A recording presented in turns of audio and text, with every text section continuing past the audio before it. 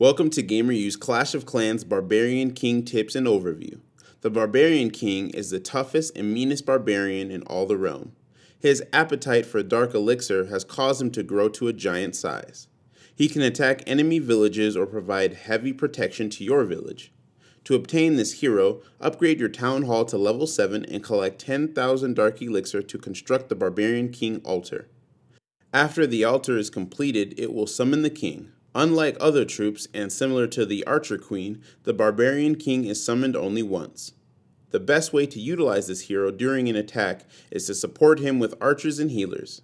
This tactic allows your healer to rejuvenate your Barbarian King when he absorbs too much damage, and your archers will pick off enemy defenses.